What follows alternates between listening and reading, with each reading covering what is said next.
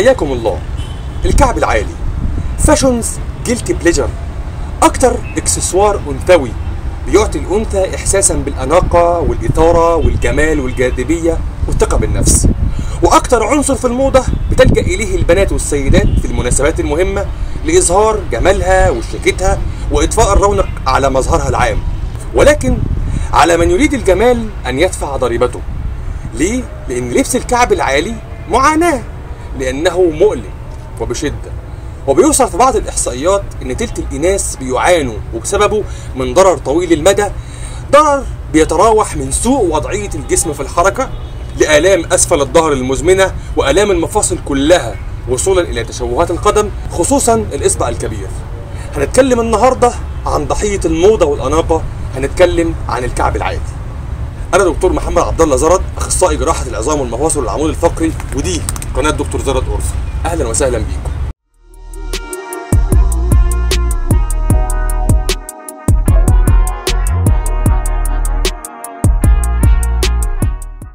علشان نعرف إزاي بتحصل مشكلة مع لبس الكعب العالي لازم نفهم الأول وببساطة إيه هي المراحل اللي بتمر بيها القدم أثناء المشي وإزاي بيتوزع الضغط على كل جزء منها وبعد كده بنقارنها لما يكون في كعب عالي.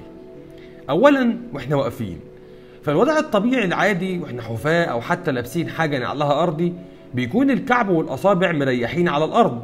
وفي الحالة دي بيكون حمل الجسم مدعوم بقوس القدم ويتم توزيعه بالتساوي بين الجزئين الأمامي والخلفي للقدم. ولكن عند الوقوف على الكعب العالي بيتحول مركز التقل لقدام.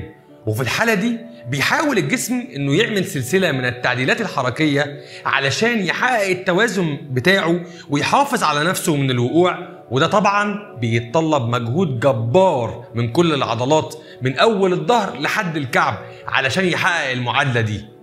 واللي وبالتأكيد هيتسبب في إجهاد العضلات دي وبالتالي ألمها على المدى المتوسط. ثانيا مع بداية المشي. المشي بيتكون من جزئين. الجزء الأول هو الوقوف وده لما تكون وضعية القدم أو كف الرجل على الأرض. والجزء الثاني من المشي هو وضع التأرجح وده لما تكون القدم في الهواء. وهنتكلم هنا عن الجزء الأولاني وهو وضعية الوقوف لأن هو اللي بيمثل الجزء الضاغط في الموضوع واللي بيمر بثلاث مراحل. أول مرحلة هي مرحلة التلامس لما الكعب بيضرب الأرض. والمرحلة الثانية هي مرحلة الوقوف. ودي لما تكون القدم مسطحة على الأرض والمرحلة الثالثة هي مرحلة الدفع. واللي بتحصل عند دفع القدم للأمام علشان تسيب الأرض. وبعد كده ندخل للجزء الثاني من المشية وهو وضعية التأرجح اللي بيكون فيها أو بتكون فيها القدم في الهواء زي ما قلنا قبل كده. طيب إيه اللي بيحصل عند ارتداء الكعب العالي في المشي؟ اللي بيحصل إن القدم لن تملك القدرة على التحرك في المواضع المختلفة المطلوبة علشان تكون قادرة على العمل كمنصة ثابتة لامتصاص الصدمات في مرحلة التلامس واللي بيخبط فيها الكعب بالأرض. وبالتالي ده ممكن يبعت صدمة أو أكتر للجسم ممكن تمر بكل العضلات الخلفية وتوصل للعمود الفقري بكل أجزائه. وكمان في مرحلة الخطوة أو الوقوف المفروض إن القدم تعمل كمنصة ثابتة عبر سطح الأرض بيتوزع الحمل فيها على طول سطح القدم نفسها أو كلها. إنما مع الكعب العالي بيكون في هنا مشكلتين. المشكلة الأولانية إن منطقة التلامس مع سطح الأرض بتكون أصغر بكتير زي ما حضراتكم شايفين وده بيركز الضغط على منطقة الكعب ومقدمة القدم فقط. وعلشان تتخيلوا درجة المشكلة دي كفاية أقول لكم إن الضغط على القدم اللي بيسببه الكعب العالي ده بيكون أكتر من الضغط على قدم الفيل اللي شايل أضعاف أضعاف الحمل اللي شايلها القدم البشرية. وده ليه؟ بسبب إن الحمل على قدم الفيل بتكون متوزعة بالتساوي على كل أجزائها. المشكلة الثانية في الوضع ده هو عدم ثبات مفصل الكاحل نفسه. واللي بيزود الحمل على الأربطة بتاعته وممكن يسبب مشاكل الالتواء زي ما هنوضح بعد كده إن شاء الله. وأخيرا في مرحلة الدفع اللي هي المرحلة الثالثة من جزئية الوقوف بنلاقي إن شكل الحذاء ووجود الكعب العالي بيأثر على الدفع من ناحية القوة والثبات وبالتالي بيحد من الحركة بشكل واضح. وبشكل ورؤية أشمل بتكون دورة المشي مع لبس الكعب العالي أقصر. وده هيترتب عليه إن هيكون في حاجة لمزيد من الخطوات المنتظمة علشان تمنع سقوط الشخص بسبب عدم استقرار الخطوة وده معناه إن القدم هتصطدم بالأرض بشكل أكتر من الطبيعي. غير إن لبس الكعب العالي بيغير من الوضع الطبيعي للقدم نفسها بشكل درامي جدا. وده لأنه بيرفع الكعب عن مستوى الأصابع واللي معناه إنك بتكوني واقفة بشكل دايم والقدم بتاعتك بانحدار للأسفل دائما. ده غير إن معظم الأنواع دي من الأحذية بتكون منطقة الصوابع فيها ضيقة وشكلها مدبب من قدام وده ممكن يسحق الجزء الأمامي من القدم حرفيا ويسبب له مشاكل كتير واللي هنتكلم عليها بعد كده. وكمان منطقة الكعب نفسها بتكون في العادة ضيقة وغير مريحة واللي هيؤدي في النهاية إلى حدوث شد دائم لأغشية القدم والأربطة الممتدة من الكعب للجزء الأمامي من القدم وهيعمل عليها ضغط جامد وهيتسبب في النهاية لمشاكل قد تكون مزمنة ومستمرة. وعلشان الجسم في الأساس بيميل لقدام ده بطبيعته لبس الكعب العالي زي ما قلنا قبل كده بيزود من حدة الوضع ده فبنلاقي إن معظم الحمل بيكون على مقدمة القدم خصوصا رؤوس العظام المشطية اللي مكانها ورا الصوابع على طول. ده غير إن وتر اكيلس اللي هو الحتة المشدودة في آخر عضلة السمانة بتاع الساق أو بيسموها عضلة البطة في لغة أهل الشام ال- ال- ال- الوتر ده بينقبض مع بداية المشية. فبالتالي العضلة والوتر دول مع لبس الكعب العالي بيكونوا مش مشدودين كفاية. وده هيؤدي لصعوبة في بداية كل خطوة. وفي نقطة في الجزئية دي واللي نوهنا عليها من شوية هي نقطة عدم ثبات مفصل الكاحل مع لبس الكعب العالي. واللي ده بدوره بيزود من فرص حدوث الالتواء لل- للمفصل بتاع الكاحل واللي ممكن يسبب كسور في عظام الكاحل أو على الأقل هيعمل تمزق في الأربطة بتاعته. وفي الفيديو اللي قدام حضراتكم دوت واللي بيلخص الجزء ده من الحلقة لما تبص على الجسم من الجنب وهو واقف هتلاحظ إن مع لبس الكعب العالي الصورة اللي على اليمين إن الجسم بيحاول يتكيف مع الوضع الجديد علشان ما يوقعش. وشوف الفرق بينه وبين الوضع الطبيعي في الصورة اللي على الشمال اللي فيه الست واقفة حافية. وشوف الأسهم اللي بتوضح التأثير على العمود الفقري خصوصا في منطقتي الفقرات الصدرية والقطنية علشان تحافظ على الاتزان. وكمان شوف إزاي إن ارتكاز حمل الجسم بقى على الجزء الأمامي من القدم بدل ما يتوزع على كامل القدم زي الوضع الطبيعي.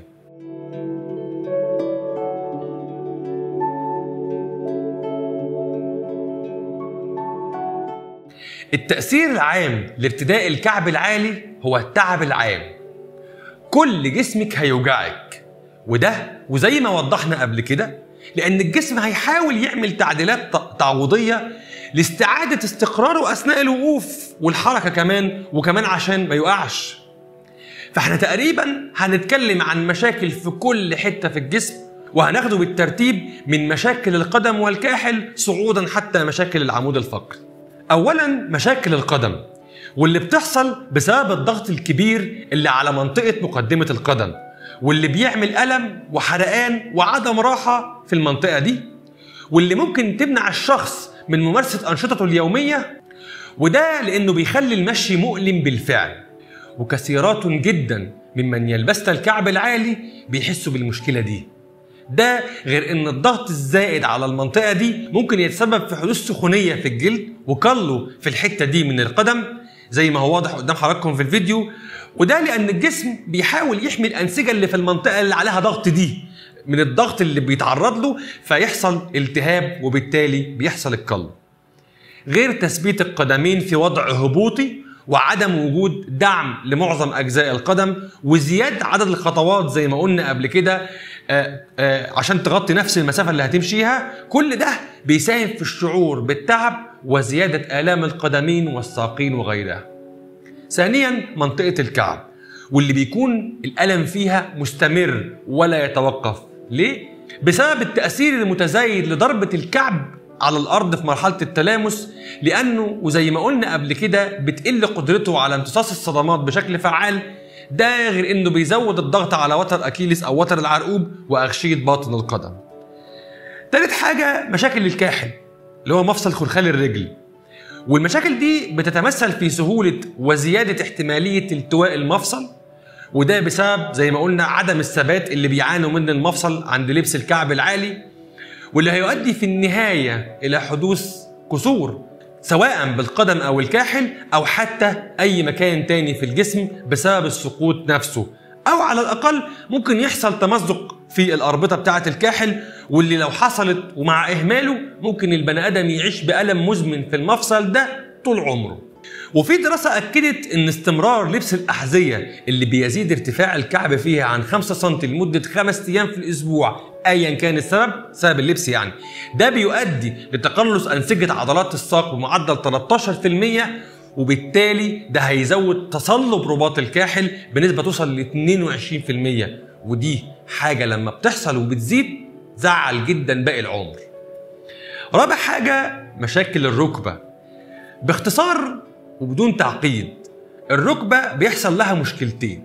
المشكلة الأولانية هي اختلال التوازن اللي ربنا سبحانه وتعالى عامله واللي فيه بيكون الضغط الواقع على المفصل متوزع ما بين النصف الداخلي والنصف الخارجي ليه. المشكلة الثانية هي إرهاق العضلات بتاعة الطرف السفلي. في محاولة منها علشان تحافظ على الجسم من الوقوع العضلات دي معظمها بيعدي على مفصل الركبة واللي بتشارك بشكل معين في ثبات مفصل الركبة نفسه.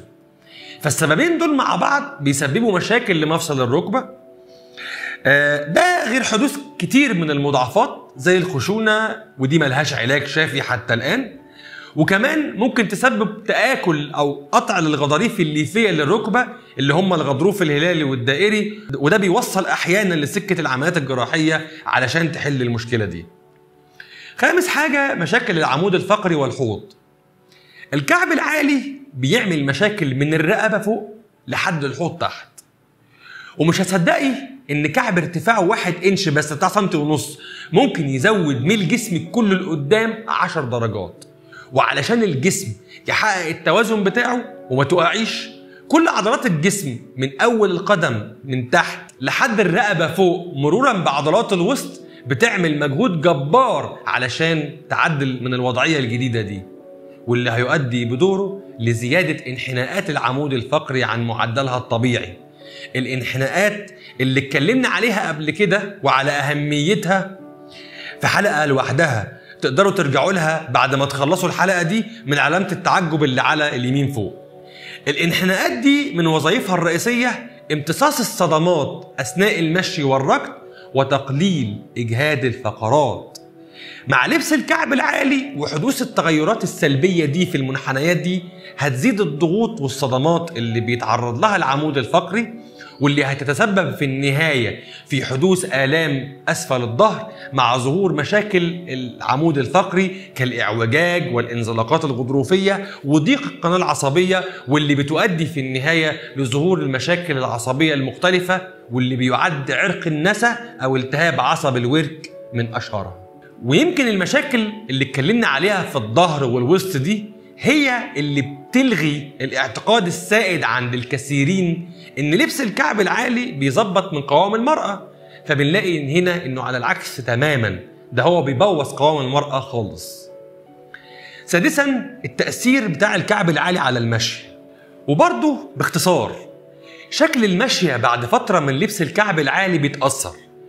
وده بسبب إجهاد العضلات اللي اتكلمنا عليه بشكل متكرر طول الحلقة. بس أهم سبب هو اسر أو تقلص كل من وتر اكيلس وعضلة السمانة. الوتر ده في الأساس انقباضه بيبدأ المشيه وبالتالي أسره ومع الضغط اللي نازل عليه بيعمل فيه التهاب. الالتهاب ده ممكن يعمل برضه ورم زي اللي قدامكم في الصورة. ده غير إن الدورة الدموية في الساق هي كمان بتتأثر لأنها بتكون معتمدة في الأساس على انقباض عضلات الساق واللي بيعمل ليها كمضخة ضغط علشان الدم يرجع تاني للقلب عكس اتجاه الجاذبية. فهنا مش هيكون في انقباض طبيعي لعضلة السمانة فتظهر مشاكل تانية كتير. أخيرا الأضرار والمشاكل الناتجة عن لبس الكعب العالي لفترات طويلة. ودي خصوصا في الناس اللي بيعتبر الكعب العالي أسلوب حياة بالنسبة لهم وبيلبسوا الكعب العالي بشكل شبه يومي خصوصا في أعمالهم وأشغالهم. ومن المشاكل دي حاجات زي الضفر الغائر أو الظفر الغائر وده من أكتر المشاكل اللي بنشوفها في العيادات بتاعتنا بسبب لبس الكعب العالي وخصوصا في صباع الرجل الكبير. الحاجة التانية تلف الأعصاب. الحاجة التالتة مشكلة زي انحراف الأصابع خصوصا الإصبع الكبير مع حدوث ورم برأس العظمة المشطية اللي بتكون موجودة ورا الصباع على طول آه، زي ما هو واضح قدام حضراتكم في الصورة. واللي بيحصل المشكلة دي بتحصل بسبب ضيق الجزء الأمامي للنوع ده من الأحذية واللي في النهاية ومع أسر الأوتار اللي اتكلمنا عليها قبل كده في الحلقة ممكن تعمل حاجة اسمها أصابع القدم المطرقيه واللي ممكن تكون ضرر دائم ومؤلم.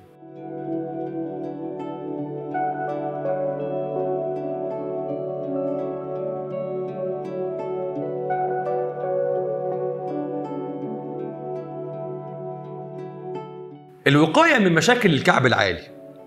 لو مش قادرة تستغني عن لبس الكعب العالي لأي سبب إن كان يا ريت تتبعي التوجيهات التالية. أول حاجة خلي الكعب العالي بشكل عام إكسسوار. يعني يتلبس في المناسبات بس والفترة قصيرة وحاولي ما تخليهوش أسلوب حياة ليكي آه، تلبسيه في الشغل وطول اليوم إلا لو مضطرة ولسبب قهري. ولو كان ولا بد ولازم تلبسيه في الشغل مثلا حاولي تخلعي الكعب العالي ده كل ما تجيلك فرصة. يعني مثلا وانت قاعدة في المكتب أو في وقت الراحة حاولي تقلعي في الأوقات دي. حاجة بعد كده بلاش الكعب اللي عامل زي المسمار ده. حاولي تخليه عريض قدر المستطاع وده علشان ترحمي مفصل الكاحل من الضغط الزائد على مكوناته علشان يحافظ على الاتزان وما وحاولي برضو تقللي من ارتفاع الكعب على قد ما تقدري. وافتكري دايما الكعب الاقصر هو الكعب الأفضل. وكمان حاولي تجيبي الحذاء أبو كعب عالي ده بوش عريض شوية اللي هو الجزء الأمامي. بلاش الوش الضيق المدبب قوي ده قدر المستطاع. البسي فرش سيليكون حاجة تكون رفيعة تحت آه، تحت كعب رجلك. وكمان تحت مقدمة القدم. ولو رجلك من النوع المفلطح اللي هو ال flat foot يعني في برضه فرش سيليكون بشكل معين كده بيكون موجود علشان يسند مكان القرش بتاع القدم. والأحسن من كل ده وزي ما محترفات لبس الكعب العالي بيعملوا هو عمل قالب مطاطي أو سيليكون بياخد الشكل بتاع رجلك أنت شخصيا وده بيتعمل في مراكز وورش أحذية كتير. كمان كل ما تروحي البيت اعملي مساج للقدم. لما تخلعي الكعب العالي حركيها مرة على على كورة تنس وتعملي عليها كمادات ساعة وهكذا. ده لما تيجي تقلعيه. وقبل ما تلبسي الكعب العالي في اليوم اللي بعده ممكن تدهني كريمات مرطبة على أماكن الضغط الشديد زي الكعب وخلف أصابع القدم. لهنا بنكون وصلنا لنهاية الحلقة. أتمنى من الله عز وجل أن أكون وفقت في تسهيل وتبسيط الموضوع. وكل واحدة تاخد بالها من رجلها. لو عجبتك الحلقة وحسيت أنت استفدت منها يا ريت تشترك في القناة وتفعل جرس التنبيهات هكون مقدر ده جدا. في أمان الله.